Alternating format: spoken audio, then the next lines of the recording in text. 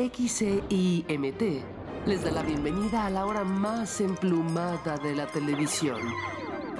El único programa que cruza el pantano y no se mancha.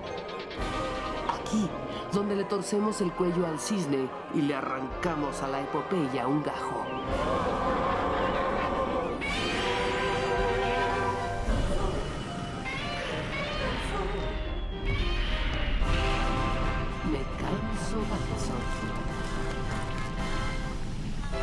Como conductor de esta nave del olvido, el juglar cósmico, Fernando Rivera Calderón.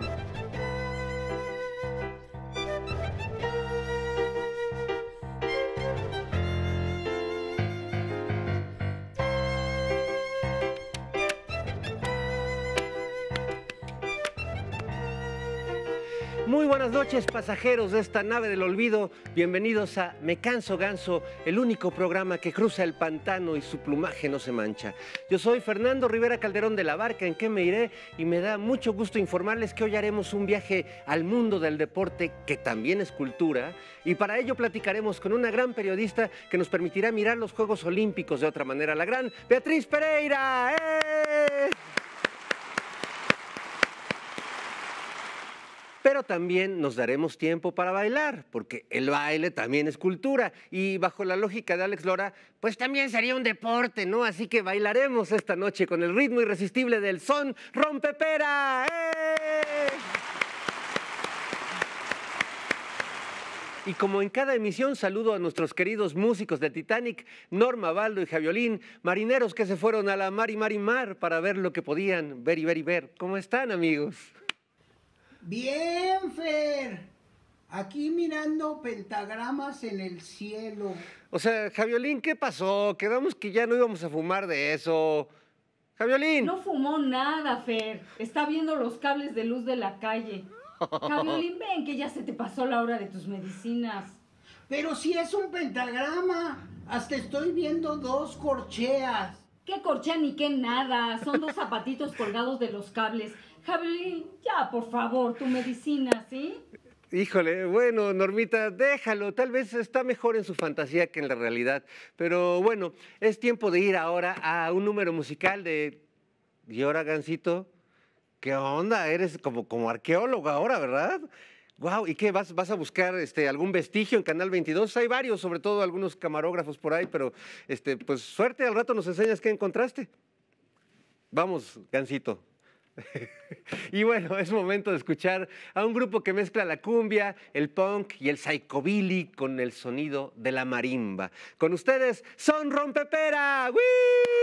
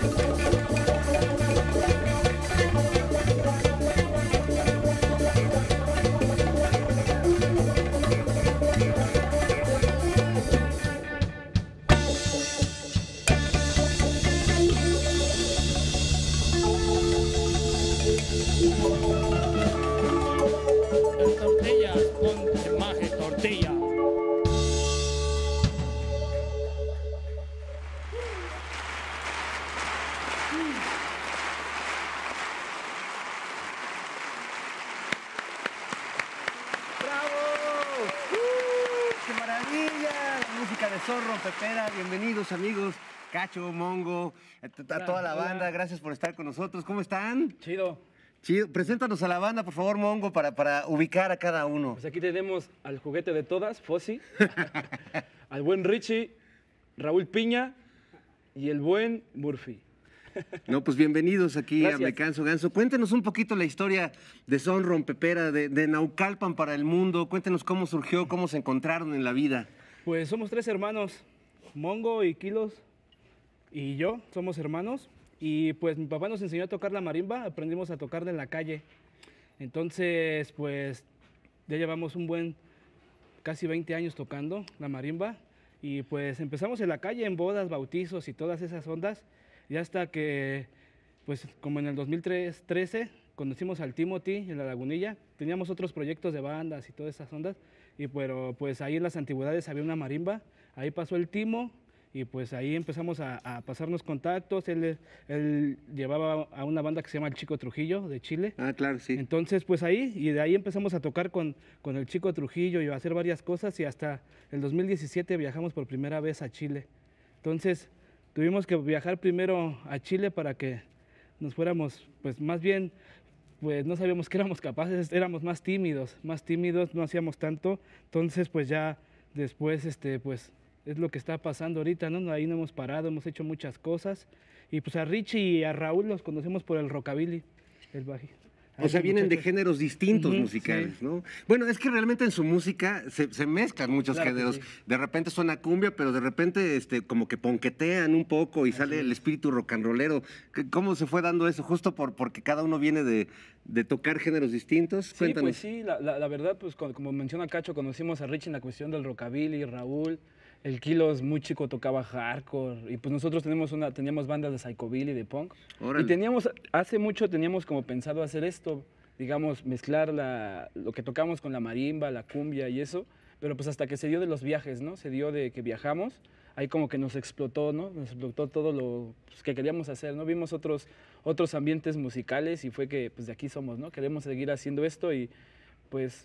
Y los viajes, más que nada, los viajes nos han ayudado mucho a conocer otro tipo de gente, música, los escenarios. Entonces aprendemos mucho de todo eso, de caminar en las calles y es lo que plasmamos en nuestra música. Nos gusta mucho tocar en vivo, transmitir y hacer parte del público y pues ser uno. Y entonces, pues ahí vamos dándole, nos gusta No, mucho lo pues, que hacemos. Si aquí ya nos pusieron a bailar a todo el estudio, la verdad es que nos alegra mucho el corazón. Ya, este, yo ya hasta tenía una amenaza familiar de ya lle- lleva música para, para bailar, lleva música.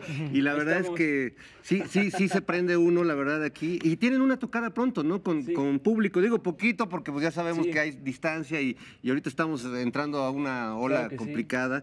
Este, pero cuéntenos de esta presentación que tienen. Vamos a tocar este sábado en el, en el Foro Ilvana. Vamos a estar presentando la canción de Ay que cumbión con nuestras amigas Ali Guagua y María Advertencia. Ah, qué Grabamos maravilla. ese- Saludos a Ali Guagua. Grabamos ese temita y vamos a estar ahí compartiendo con la banda, vendiendo mercancía, que apoyen a la banda local. Pues somos, vivimos ya de eso. También venden mercancía que traen, chavos. Esa, la de la cumbia es el nuevo punk. Esa y Está muy otra. buena. ¿no? Sí, ahí con el Timo. O con ahí las, las rolan. Oigan, ¿y cómo se inspiran para hacer sus canciones? Tomando del, del rock, del punk, de repente suena como, como a Pérez Prado, ¿no? Agarra una intensidad eh, maravillosa. ¿Cómo es que se juntan para hacer una canción? Eh, ¿Tú sales con una idea o las empiezan a, a palomear y van saliendo este, juntas? ¿Cómo, cómo funciona? Pues, más bien es cuando nos juntamos todos o cada quien está ensayando en su casa y pues tiene pues algo y ya nos juntamos y pues es cuando pues armamos la, la mayoría de canciones, ¿no? Por lo decir el Cacho saca algo en la marimba, yo traigo algo en otro lado, el Richie, Raúl. Y es como, pues también como nos sintamos, ¿no? A veces estamos como tristes o enojados o muy contentos Sí. y es como tenemos, las, tenemos piezas así, digamos, ¿no? Podemos variar entre los temas que pues podemos hablar de amor, podemos hablar de pues cosas cotidianas, ¿no? O cosas hasta raras, ¿no? Hasta cosas como de necrofilia, ¿no? Así como, digamos, ¿Son, son medio necrófilos? No. solamente el kilo. Solo y el kilo. Aquí también tenemos un, no un necrófilo, pero sí un kilo. eh, también. Sí, pues más que nada es eso, ¿no? Yo creo que es, pues, divertirnos, ¿no? Aparte nos, nos divertimos mucho haciendo canciones o tocando, ¿no? Yo creo que es esa, de esa parte que pues, nos sentimos muy cómodos al momento de hacer un tema. Lo que me, me imagino que ha de ser más divertido de todo es cargar la marimba para llegar a los toquines y después, Sí. ¿cómo, cómo le hacen? ¿Se- ¿La suben a un taxi? Pues Este, sí re- tenemos varias marimbas. De principio sí era así como de, de subirla arriba de un carro, en una camioneta. Esta marimba nos la, nos la hicieron el año pasado, se desarma toda, cabe en una cajuela. Ah, qué maravilla. Entonces, y es más práctico, pero pues como que hemos estado experimentando, en Chile dejamos una, una marimba y esa la cortamos todo y nos tardamos como dos horas en armarla. Entonces hemos ido aprendiendo a hacer las cosas de la marimba y todo eso. Y pues la verdad es de que es un instrumento que se puede hacer lo que sea, ¿no? Es maravilloso. Es algo, algo que, que se está, yo creo que se está perdiendo un poco, ¿no? Entonces hay que rescatarlo, a nosotros nos gusta tocar y llevarlo a todas las edades y, y ha resultado, ¿no? Es, público diferente y todo, tenemos para, to- creo que lo que hacemos es para todo tipo de Para público. todos, claro. Todo el mundo baila. Entonces, Incluso para el público que le gusta eh, la, la marimba tradicional, que un poco, eh, yo creo que lo que pasa a veces con las músicas tradicionales es que la secuestra el turismo, ¿no? Entonces, pues ya los marimberos, por ejemplo, en Oaxaca, en Chiapas, pues tocan las, un repertorio muy pequeñito, que es lo que les pide el turismo, ¿no? Entonces, de repente, liberar a la al instrumento de, de ese, de ese yugo, digamos, de las rolas que la gente siempre pide, es maravilloso. Yo no sé eh, si vive su, su papá, qué piensa de esto que han hecho con, con, con esto, ¿no? Con la marimba. O, o- o no está muy mi, feliz. mi papá falleció en el 2016, entonces ahí como que cortamos la, la onda de la música porque pues sí estuvimos un rato tocando con él. Entonces, pues cada quien se dedicó a otras cosas. Todavía no teníamos el proyecto ya hecho. ¿Qué tocaban con, con tu papá? Este, Pues la marimba. de- pero, ¿qué tipo de música? ¿De, De todo? todo, ¿Las tradicionales? rancheras. boleros. Pues como lo mencionas, igual pues, un repertorio de Sí, que te fol- piden, digamos, folclore. en las fiestas, ¿no? Claro. todo Pero bueno, fue la gran escuela para ustedes, ¿no? Sí, sí. Yo creo que sí, porque hemos tocado en muchos tipos de eventos. Yo tenía 11 años, ya voy a cumplir 31. Entonces, es algo que siempre ha estado desde, casi desde que estoy chico. La música siempre ha estado. Entonces, pues era difícil no dedicarse a la música, pero las oportunidades han ido dando, entonces no las desaprovechamos y pues estamos rescatando todo esto y más que es algo, algo difícil, algo alguien pensaría que no tocamos cumbia o que ni siquiera tocamos la marimba. Entonces, pues a nosotros nos gusta. No, no, y a nosotros también, hacen música increíble, muchas felicidades. Gracias. Son Rompepera por esta música genial. Gracias por, por venir aquí a Me No, Canso gracias. Vamos a seguir escuchando rolas de ustedes, así que este, váyanse aligerando de ropa, aflójense los cinturones, las corbatas. Si se pueden echar una chelita, un tequilito, un mezcalito, di- disfruten la belleza de estos muchachos, que no los no, esto no se ve muy seguido en la tele, así que aprovechen, valoren lo bueno y regresamos aquí a Me Canso Ganso. ¡Eh! ¡Bravo, son Rompepera!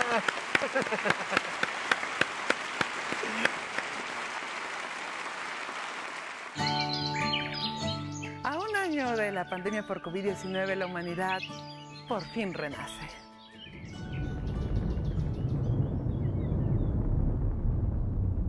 Pero hay ocasiones en que la resurrección no trae nada bueno para aquellos que la viven. A veces solo trae consigo calamidad y desgracia.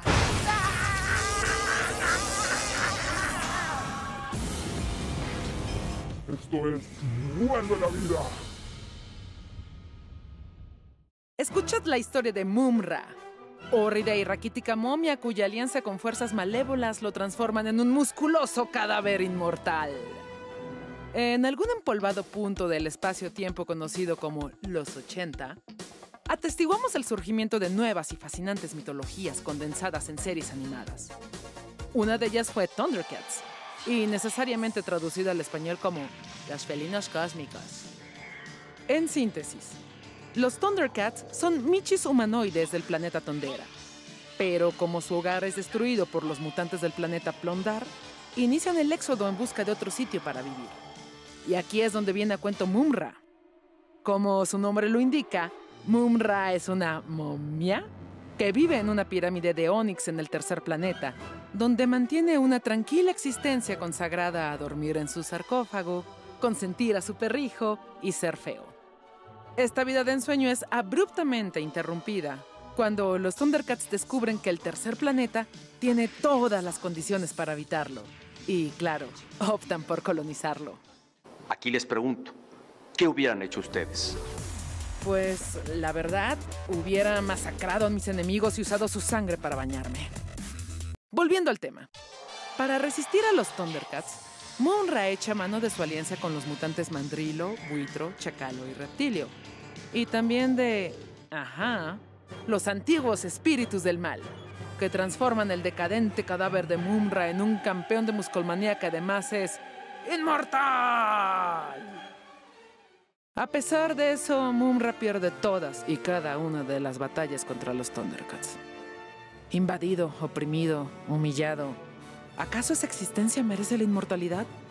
Preferible es la muerte, que es destino natural de mujeres y hombres. Y ya que nos hayamos ido, será mejor no volver jamás. Los poemínimos del cocodrilo Efraín Huerta. Lo dijo Monsi. Lo dramático para muchos, muchísimos mexicanos, es que en México no hay embajada de México.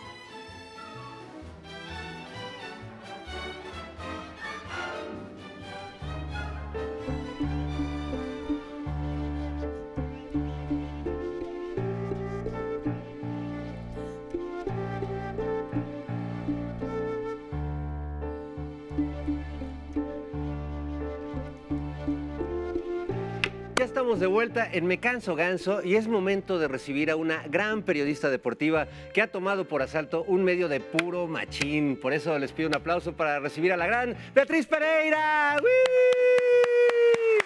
¡Bravo! Ay, ejecuté mi acto Godín. El acto Godín por excelencia, mi querida Betty, ¿cómo estás? Hola, Fer. Bienvenida Hola, a Me Canso. Ganso. Bienvenida a Me Canso Ganso. Gracias. te voy a soltar a Perucho porque muere de ganas de irte a abrazar. Abrázame, perro, ven aquí. ¿Cómo estás, mi querida Beatriz? Bien, feliz con este, la cobertura olímpica, desvelada. Desve- vienes en vivo, ¿verdad? Porque ahora es- Literal. Yo que padezco de repente insomnio, me da gusto porque me despierto a las 4 de la madrugada, prendo la tele y estoy y está la selección perdiendo o, o estamos ganando una medalla de bronce o algo de estas cosas maravillosas que nos pasan. Y maravillosas e imperdibles. E imperdibles, aunque no siempre tengamos el resultado que deseamos y que es un tema que tú has analizado durante, yo creo que décadas ya, mi querida Beatriz. Dos décadas, qué horror. Eh, hay, hay dirigencias en el deporte, mafias en el deporte mexicano, que yo creí que se iban a acabar este, cuando se, se fueran ciertos este, líderes y dirigentes ahí, los Vázquez Raña, etc. Pero no, porque parece que es la cabeza de la hidra. Cortas una y aparece otro igual. Exactamente. ¿Cómo, cómo evalúas tú eso? Sobre, sobre todo ahora que se le, se le ha cargado a Ana Gabriela Guevara, pero creo que es una cosa que, que va más allá de un solo funcionario. Es como, como una dinámica ya muy torcida en el deporte mexicano, ¿no? Sí, fíjate que el deporte mexicano tiene muchas dolencias y las dolencias vienen de eh, no solamente, digamos, la parte directiva de los órganos gubernamentales del deporte, sino también de los organismos privados, las famosas federaciones deportivas, ¿no? Uf. Que son la máxima autoridad técnica de los deportes en, en nuestro país, ¿no? Entonces, entre lo que mal hacen las federaciones y lo que mal hacen el gobierno federal o los gobiernos estatales, pues la suma de todos esos defectos o cosas mal hechas las vemos reflejadas cada cuatro años en los Juegos Olímpicos, ¿no? Cuando parece que nos quieren contar que el deporte mejora, avanza, llegan los Juegos Olímpicos y se demuestra una vez más que el deporte mexicano sigue estancado que siguen echados en sus laureles de ganar estas tres, cinco medallas más o menos cada justa olímpica y que no parece que no se pueden cambiar las cosas, ¿no? El deporte mexicano está sobrediagnosticado. Todos sabemos qué le duele, dónde le duele, dónde está lo que está mal, pero pues los ajustes no llegan. Y además sabemos de- del esfuerzo, de la voluntad, del talento que tienen los atletas mexicanos. Lo han demostrado a pesar de tener todo en contra. Eh, lo que pasa es que entrar a, las tres primeras medallas, digamos, pues requiere una infraestructura que no tenemos todavía o que no se les ha querido dar. Pues es que, mira, yo lo dividiría, a ver, en dos partes. Eh, punto número uno, eh, sí, hay deportistas que todavía hoy, en 2021, siguen sin recibir lo necesario para poder eh, tener una preparación completa y justa para llegar de la mejor manera a una competencia del calibre de unos Juegos Olímpicos. Y hay otros que ya reciben, que tienen el presupuesto, que tienen los equipos multidisciplinarios, que gozan, digamos, de todo lo necesario y que con todo y eso a la hora de que llegan a la competencia hay, hay algún factor que surge y que no permite que se ganen medallas. Caso concreto, este, lo que vimos ¿no? en la prueba de eh, trampolín de tres metros sincronizados, cuando pues prácticamente Yael Castillo y Juan Manuel Zelaya tenían esa medalla en el cuello porque los rusos al haber fallado de una manera tan brutal, Claro. les colgaron la medalla y lo único que ellos tenían que hacer era llegar y caer de cabecita y pues Yael cayó de pancita. Entonces, pues ahí se perdió la medalla. Digo, eh, digo, ahí no le puedes ya reprochar al sistema, ¿no? Ellos recibieron y tuvieron, no lo concretaron, pero efectivamente sí hay muchos que eh, los deportistas mexicanos tienen dos tipos de trabajo. Uno, lo que tienen que hacer como atletas en su preparación para llegar a punto a las competencias internacionales y después la carrera de obstáculos eh, que corre de manera paralela para irse quitando y capoteando al presidente de federación que los quiere perjudicar, al entrenador que también le cae mal, al dirigente deportivo que, que- que no lo quiere ayudar, ¿no? Entonces es doble chamba, digamos, el deportista, la, la del deportista mexicano. Y luego se sacan de onda de que los atletas tengan crisis nerviosas como, como Simón Biles o como que tengan este arrebatos y rompan las raquetas o que pues están sometidos a, un- a una presión este, que, que no vemos quienes estamos ahí eh, desde nuestro sillón viendo sus, eh, sus eh, proezas olímpicas. Es que sabes que, Fernando, yo creo que sí es muy importante em, comenzar a hablar de cómo hemos romantizado el deporte. O sea, a ver, eh, ver desde deportistas como Nadia Comaneci, que es capaz de sacarse por primera vez la calificación perfecta en un deporte tan exigente como la Y gimnasia. que todos amamos en ese momento, ¿no? Y que, y que se volvió un referente. Todos en este mundo sabemos quién es Nadia Comaneci. O de lo que vimos anoche, eh, esta niña china de 14 Chang. años eh, ganando eh, de manera contundente Con una medalla 10. de oro. Con de tres de sus cinco clavados obtuvo la calificación perfecta de 10. Entonces nos hemos acostumbrado a Roger Federer es prácticamente imbatible. Lance Armstrong venció el cáncer y entonces ganó siete veces Tour de Francia.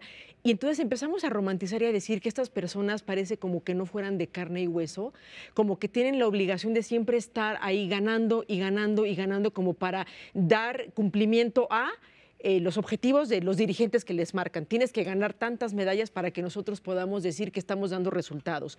O el patrocinador que te está dando dinero y mientras más ganes y mejor te vaya, más dinero vas a tener. Entonces hay una presión sobre el deportista por siempre cumplir, que a ver, una cosa es el compromiso que ellos tengan, que digan, a ver, yo eh, quiero llevar a mi cuerpo al alto rendimiento, que el alto rendimiento no es sinónimo de salud, es lleva tu cuerpo al extremo, castígalo de tal manera para que sea capaz de tener estos logros y hazañas que a todos nos enamoran, ¿no? Y claro, nos inspiran. Todos queremos ser Lance Armstrong.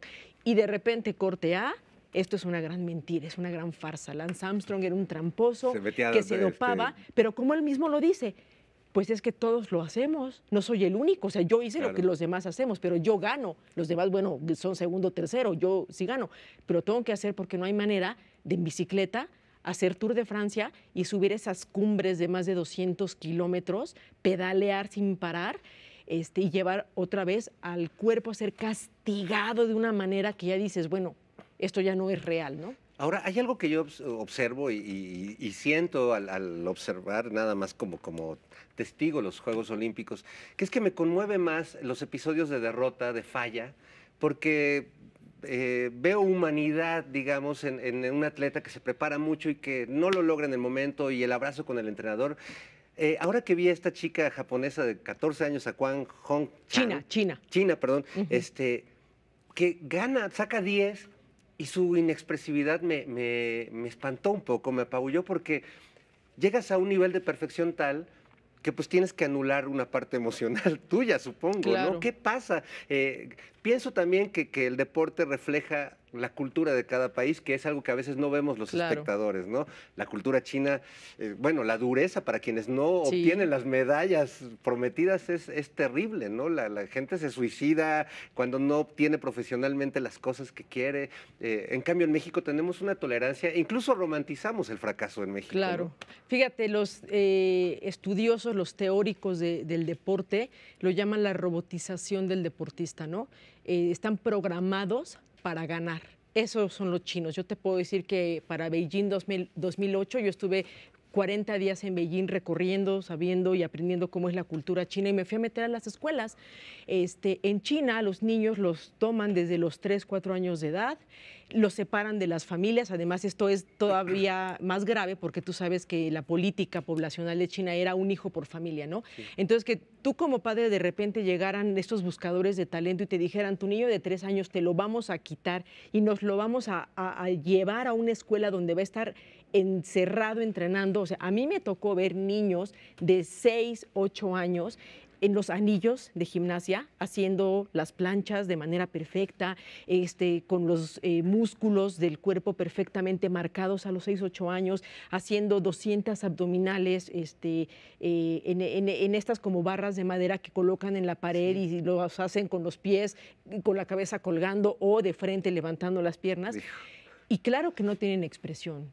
Y claro que están eh, siendo sometidos a castigos físicos, psicológicos, sí, sí, sí. lo- le- les reprimen las emociones de tal suerte que, claro, tú puedes tener 14 años y puedes tener la frialdad de subir a una plataforma de 10 metros y tirarte a sabiendas, porque ellos llegan sabiendo que van a ganar. El problema es que, e- es que no ganen el oro. La plata y o el bronce para ellos es como, "Mm, X, no cumpliste. En cambio, el mexicano es, es- ah, ojalá que se caiga el que se va a tirar ahorita o que no le vaya tan bien para que yo me logre meter al medallero. Y bueno, y si no se pudo, pues no se pudo, o sea, gran esfuerzo. Este, yo le hice la lucha, yo dejé aquí el corazón y los riñones y no se pudo, pero para mi México lindo. Y sabes, y todos abrazamos eso porque claro, te súper esforzaste. Entonces, ¿quién va a determinar qué está bien y qué está mal? ¿Qué está bien? Ser una persona feliz, un individuo integrado a la sociedad, que, que tiene sus emociones. y Tolerante su- al éxito y al fracaso. ¿no? Exactamente. ¿Es mejor eso, aunque no tengas una medalla olímpica o mundial? ¿O es mejor ser el gran campeón o campeona de los clavados o del deporte que tú quieras? A riesgo de que te pase lo que le pasó a Simone Biles, ¿no? Mucha gente decía, es que como si ellos están hechos de una madera especial para resistir esto. Bueno, la historia de Nadia Comaneci era dramática. Bela Caroli, su entrenador, la maltrataba física y psicológicamente. ¿Y sabes quién era el entrenador de Simone Biles? Bela Caroli.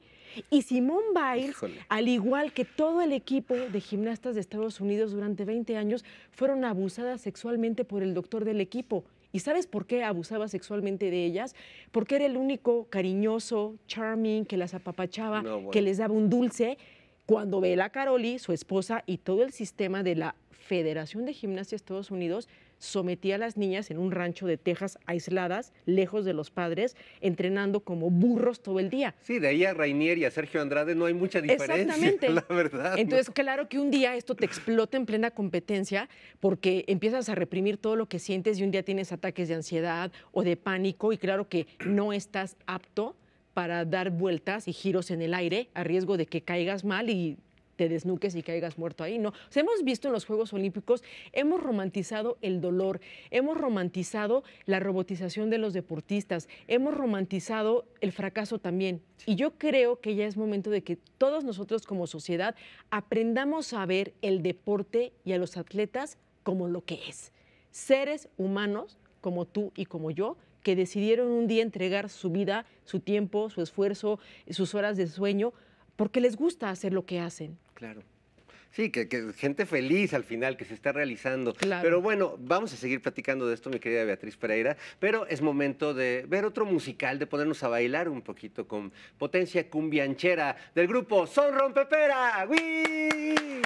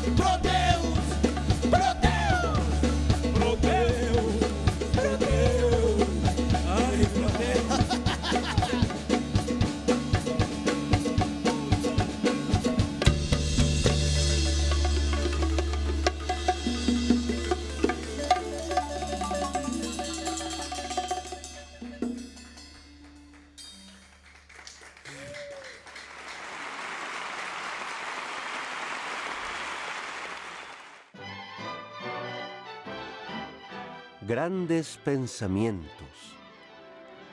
El hombre está por encima del ciudadano. No hay Estado que valga lo que Shakespeare. Fernando Pessoa.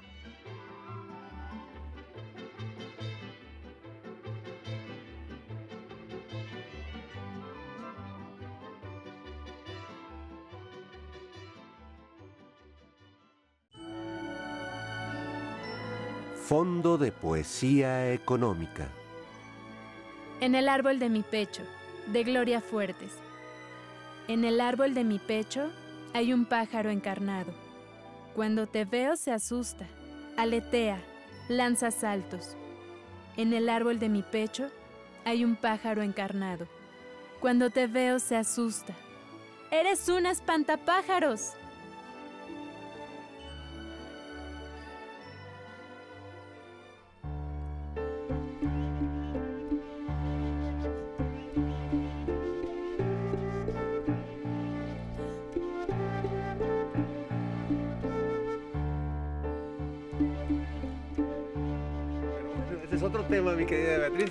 Estamos de regreso en Me Canso Ganso. Seguimos charlando con la gran periodista Beatriz Pereira, eh, que estábamos hablando hace rato de los pobres, de, ah, cómo romantizamos a los atletas, pero también que unos eh, pues viven con una carga muy pesada, salvo los mexicanos que siempre tienen el horizonte de que terminan y se pueden volver dirigentes deportivos, políticos o comentaristas, desde los tiempos del que el ratón Macías, que se volvió diputado del PRI, el tibio Muñoz, Raúl González, ya cuando uno como público los había aprendido a querer, Claro. los tienes que odiar. Ana Gabriela Guevara, bueno, otro, otro ejemplo tristísimo, ¿no? ¿Por qué les da a los...? ah, Bueno, Rommel Pacheco acaba de anunciar que se va a volver, además bajo el padrinazgo de Felipe Calderón, político. ¿Qué Y- les pasa? Y ¿sabes qué es lo peor? Que llegan con la consigna de yo voy a salvar al deporte, yo sí voy a resolver lo Sí. que los demás no resolvieron.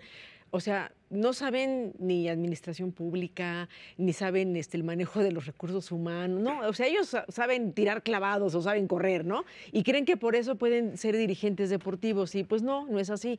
Eh, Bueno, es que parecía porque hubo un tiempo en que pues había abogados, bueno, el, el que inició el olimpismo en México, el, el, general, el general Clark, Clark- Clark Flores, Flores. pero luego fueron políticos y era el que designaba, bueno, Miquel Arreola hace no mucho tiempo, con- Ah, este, claro. después de venir ahí con sus amigos priistas haciendo estafas maestras, pues le entró al deporte, este... Pero ¿por, qué se les da este camino? ¿Es el camino fácil, digamos, para un deportista retirado? Mira, yo te diría, principalmente para quienes no estudiaron. Eh, terminas la carrera deportiva y dices, no hice nada académicamente, ¿de qué voy a vivir ahora? Ya no me van a dar becas, ya no me van a dar premios. Bueno, insértenme en la parte política del deporte. Entonces yo con lo poco o mucho que aprendí como deportista, empiezo a dirigir, empiezo a administrar el deporte y la verdad es que la experiencia nos ha enseñado que lo hacen muy mal. Mal. La verdad es que la peor de todos, y sí lo voy a decir con todas sus letras, es Ana Guevara. Ana Guevara se retiró eh, detestando al deporte, denunciando el sistema, la corrupción. Lo mismo que ella ahora hace es lo que la empujó ella al retiro. Y no se me olvidan sus palabras. Dijo, me voy a preparar para cuando sea mi turno de tomar el deporte en mis manos, yo pueda eh, corregir y que lo que a mí me ocurrió no le vuelva a pasar a ningún deportista. Bueno, fue peor que todos, ¿no? Porque la insensibilidad, eh, no quisiera ser como tan ruda, pero yo creo que ella ha sido miserable con los deportistas y con el deporte. Y entonces, si se ve mal que el político, que el señor de saco y corbata lo haga, se ve peor Sí. cuando uno de los tuyos, o sea, que tu propio Claro. gremio, cuando ya tiene en sus manos la opción de sí tratar de mejorar, te aviente el puñal de esa manera, ¿no? Sí, es, es la verdad terrible, lamentable. Yo, yo sé que ella se defiende y dice, me atacan, es injusto. Bueno, pues ahí están las evidencias. Pero además el otro camino que han tomado algunos deportistas mexicanos es peor, que es eh, el caso Humberto Mariles, ¿no? La irse al lado de la delincuencia. Justo pensaba en esto porque mañana creo que Esteban Loaiza, eh, este Sí. beisbolista, sale de prisión en Estados Unidos y Sí. me lo deportan a México, Sí, ¿no? sí, es que e- esa es otra parte del deportista. Cuando tú ves casos, por ejemplo, como el del sudafricano Oscar Pistorius, que bueno, ¿quién no iba a querer eh, sentirse eh, impulsado, Claro. motivado por una persona que dices, con su condición física, Inspirado. eh, este, es, es capaz de sobreponerse a todo, a la adversidad más terrible y ser un campeón? Y de repente, pues mata a la novia, ¿no? Sí. Lance Armstrong supera el cáncer, motiva, vende sus pulseras. Corte A era un tramposo. Este, el gato González, eh, que boxeador mexicano que también estuvo en la cárcel por homicidio. Entonces es donde te vas dando cuenta que son seres humanos de carne y hueso, Claro. con defectos, con virtudes, que sí en el- la cancha, en el terreno de juego, fueron capaces de tener estas hazañas y logros deportivos, pero fuera de ellos son capaces pues de traficar droga, de matar, de mentir, Sí, de sí, corromperse. Sí, de- bueno, de simplemente no, no entender. eh, yo recuerdo hace muchos años que entrevisté a Joaquín Capilla que me contaba que él se retiró de- de- del deporte, pero además de la vida y se encerró un año sin bañarse y dejando. Cuando se enteró que Greg Lugani, su ídolo, era gay. Él decía, Sí. yo no puedo ser eh, campeón de un deporte donde hay gays porque era un homófobo de lo peor, ¿no? Y, la, y Joaquín Capilla terminó su vida en condiciones muy deplorables, este, con una esposa muy enferma, en el encierro, Sí. eh, abandonado. Eh, y a veces todos decimos, es que ¿por qué como país no hacemos? Bueno, pues yo también diría, eh, tampoco es que los deportistas sean como una responsabilidad, una carga social para siempre de un país. O sea, es decir, uno va a la escuela y se prepara y después sales y te tienes que enfrentar al mercado laboral y tú te rascas con tus propias uñas para ver hasta dónde tu talento te da una chamba mejor o peor. Este, y los deportistas yo creo que también tienen que ser iguales. Es decir, yo creo que ya no se vale decir, por ser deportista no pude estudiar. Por ser deportista, aunque no haya ganado o haya ganado mucho, me merezco que me sienten en una posición de poder. Por Voy a ser gobernador de Morelos. por ser deportista y tener títulos o medallas mundiales son mis cartas de impunidad para que yo haga, destruya, deshaga, robe, este, me corrompa y nadie me toque. Eso no está bien, o sea, no le hace bien a un país que tus ídolos deportivos se conviertan en lo que nosotros ya repudiamos, de lo que estamos cansados, ¿no? Es un poco el caso de Julio César Chávez, eh, de que, se- que terminan volviéndose como, pues otra cosa, que nada tiene que ver con un deportista que se esfuerza para lograr un, ya se, se vuelven como mafiosos, ¿no? Como personajes ya Bueno, a intocables. ver, Julio César Chávez era amigo de los peores narcotraficantes de este sí, país. sí, compadre. y un señor que tuvo un montón de problemas con las drogas. Yo digo, a ver, yo no quiero ese modelo a seguir. O sea, perdón, serás muy Julio César Chávez y sí, tus peleas fueron épicas y nos enamoraron a todos. Como boxeador, bravo Julio César Chávez.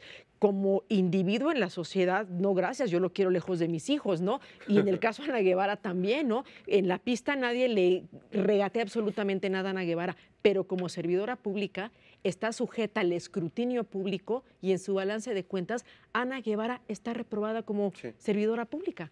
Sí, sin duda. Ahí eh, no, no, no tengo manera de no coincidir contigo y bueno, creo que ese escrutinio se tendrá que dar en, los momentos y en las instancias pertinentes. Oye, hablemos de... de- no, no quiero terminar esta entrevista, mi querida Betty, sin tocar dos temas muy importantes. Uno, porque hace ratito escribiéndome con mis hijos, eh, hoy decíamos que hoy murió el fútbol, que hoy es un día terrible y yo creo que sí es un día que cambia la historia del fútbol para quienes nos encanta, porque Messi anuncia que se va del Barcelona, el gran futbolista, hablando de, de personas presionadas y con un tremendo éxito y que todo el mundo tenemos una gran expectativa.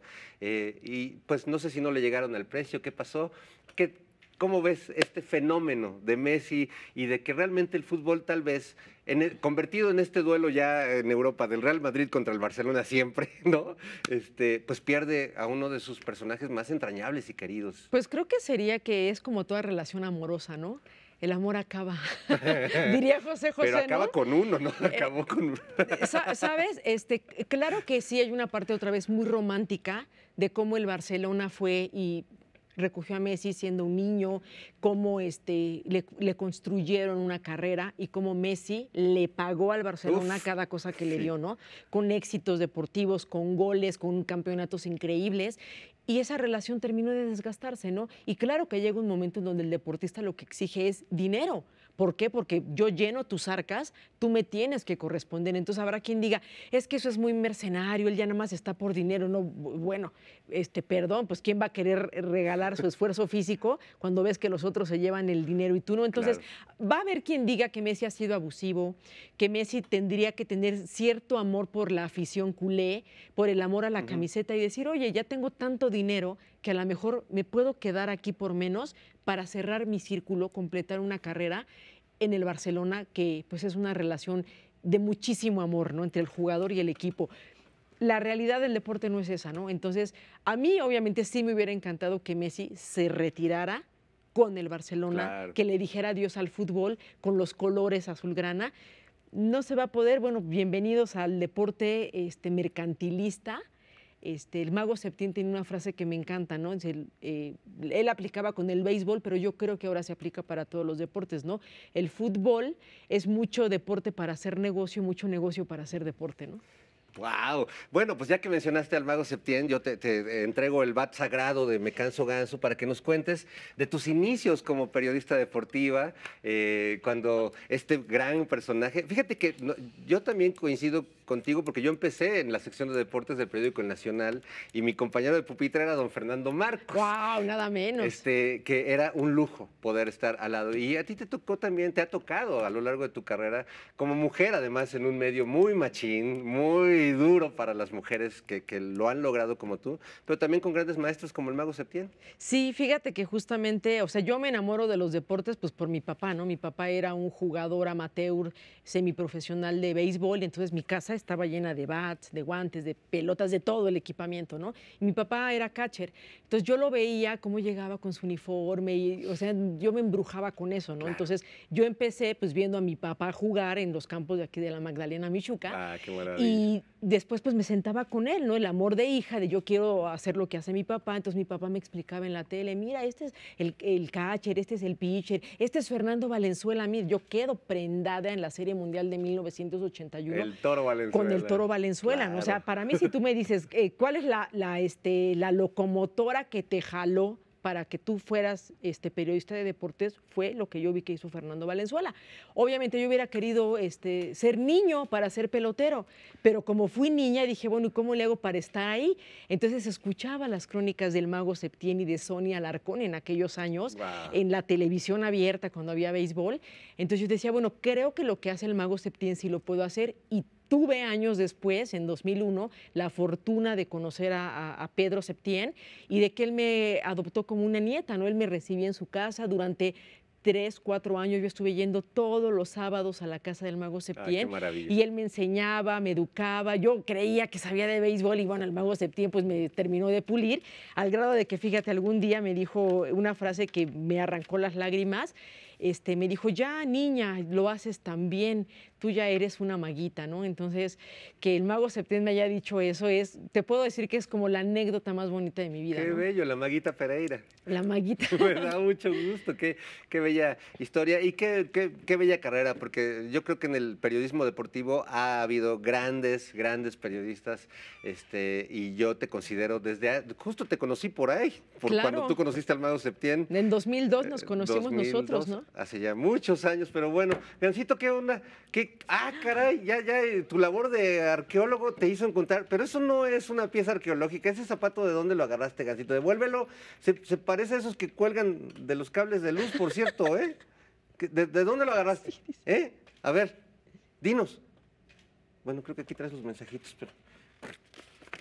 Ganso, devuélveme mi corchea. No puedo tocar mi pentagrama. Ay, Javiolín, ya tómate tu medicina. Ay, este, Ganso, creo que agarraste el zapato equivocado. Devuélveselo al- a los cables de luz donde lo tenía Javiolín. Y bueno, saludo aquí a Mateo Muñiz. Bravo por este tipo de programas culturales. Giri Gómez, cada semana espero con ansias ver este increíble programa. Gracias, Magdalena Suárez. Saludos a todos los que participan este- en este programa desde Los Ángeles. Saludos a la gente que nos ve en Los Ángeles, California. Y Hortensia Barraza, saludos a mi programa favorito. Bueno, muchas gracias a todos quienes nos escriben. Aquí te lo dejo. Llévate tu zapatito, Ganso, y devuélveselo a Javiolín, por favor. Y bueno, es tiempo, vamos con un poco de música.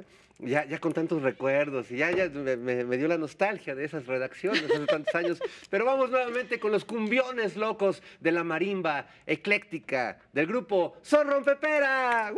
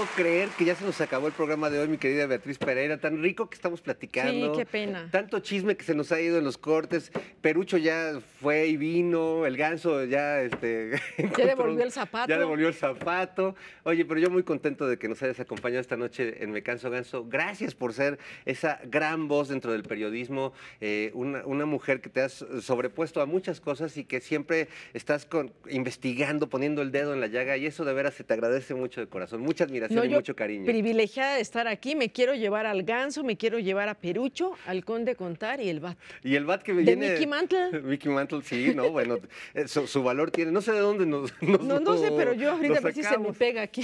Se pega. Muchas gracias, Beatriz por Gracias estar a ti, con Fer, gracias a todos. Gracias a Son Rompepera por su música increíble y por compartirla esta noche y nos puso a bailar como ya teníamos muchas ganas de hacerlo. Gracias Gancito, gracias Perucho, gracias a, a- a todo el equipo de Canal 22 y gracias a ustedes por mirarnos cada noche de jueves. Yo soy Fernando Rivera Calderón de la Barca, ¿en qué me iré? Y me voy, nos vamos, adiós amigos, muy buenas noches. Eh. ¿Qué onda Perucho? Ahora sí, sube.